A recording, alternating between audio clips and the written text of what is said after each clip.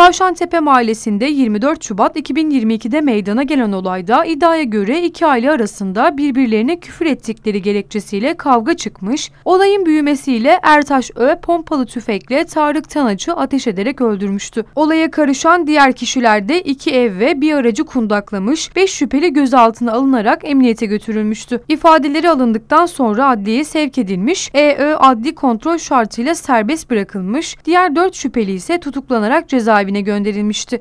Erkan Öğde yargılanma aşamasında tahliye edilmişti. Tarık Tanacın öldürülmesine ilişkin açılan davanın duruşması Kocaeli 1. Ağır Ceza Mahkemesi'nde görülmeye devam etti. Söz hakkı verilen Ertaş Ö pişman olduğunu söyleyerek öldürme kastıyla hareket etmediğini ifade etti. Yavuz Ö de uzun zamandır tutukluyum. Onlar evimizi bastı. Bizi öldürmek istedi diye konuştu. Mahkeme yeti tutuklu sanıklardan Salih Ö ile Yavuz Ö'nün taliyesine, Ertaş Ö'nün ise tutukluk halinin devamına karar vererek duruşmayı erteledi.